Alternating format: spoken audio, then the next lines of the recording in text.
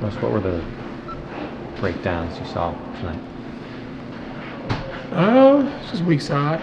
You know, they got some early, easy looks early on, so Center was chasing all night from my perspective. But I watch film and see kind of, you know, exactly what we're doing. We had spurts where we defended well, and then we had some didn't. Late in the game, when like fans were talking to you, you were talking back to them. Can you explain what you Yeah, were you hearing, know- what happened? What I'm hearing, I mean, you know, it's unfortunate. You know, fans think they can say whatever they want. You know, I'm not gonna say it now because it's not appropriate, but um, I'm just protecting myself. Um, that's about it. You know what I'm saying? Too much else I can explain on that, but just unfortunate fans think they can get away with saying anything, and I won't.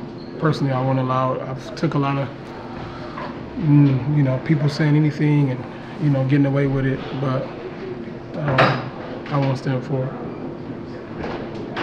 What perspective do you have if this has happened already before over the years? I don't know. I think you know. I mean, a lot of it is, um, you know, people know, and it's unfortunately very protected. Protected. Um, I just really hope whatever whatever rules are in place. You know, it takes a while for the whether it's security of the arenas or whatever that may be to go and tell fans to get out. But you know, fans kind of have the right of way to kind of say whatever they want. Uh, but like I told you, any disrespect to me, my family, I won't allow it. What do you think of the security response, and does the NBA need to change some rules here to prevent these situations? I don't know. I'm not. A, I'm not sure, but I I just was only thing I would ask is just. Um, I understand fans are ha- enjoying the game and you know uh, feeling, you know, up to whatever that may be.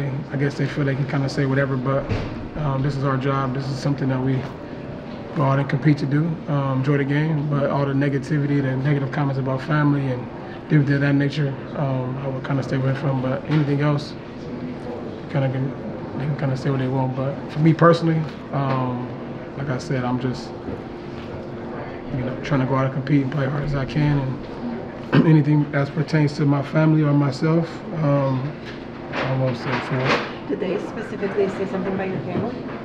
I'm not going to speak on it, like I said, because that's not appropriate. but like I said, if I'm responding, it's the reason I'm responding, um, and I will protect that always. I mean, it's a little different now. I tell people, man, like uh, when I was first starting the league, maybe not so much. I used to get into a little bit, but now having kids and understanding how important it is, not just myself, but my last name, understanding what Westbrook means, understanding what how important that is to, you know, my dad, my grandfather, my family. It's very important. It's a, something I stand on, and respect is a big thing that's that I value. Um, so the moment that line gets crossed, I won't allow no more. I, I stood for it for years, and now oh, my my son is old enough to know what's going on and understanding.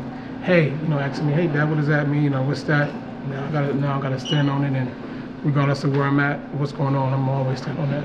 All right, any basketball questions? You guys, you guys came in here winning four of your last five, and it seemed like things were getting more comfortable. You guys understanding the rotations and whatnot. What's this tell you about how much more there is to go?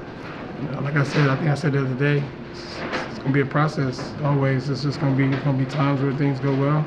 Start off slow today, um, and just couldn't keep it going. But it's part of the season. Got to turn the page. Got two big road games coming up. Take your business. Russ PG said that you're starting to look more comfortable now in this new role. Do you think people kind of underrate how much of a change it is to go from starting to off the bench and maybe how long that process might take? Yeah, um, but you know, I'm not one to make excuses. I'll just try to figure out, you know, um, somebody that's been in the league a long time. I've been able to try to adjust and do different things and for different teams, and always I will figure it out. I'll just stay uh, prayerful and, and keep my faith and understanding my value, what I bring to the team. And every time I step on the floor, I'll give everything I have, and um, you know, hopefully that's good enough. Thank you guys, thank you. Thanks, Russ. Thank you. Thank you, Let's get ready for HoopJab.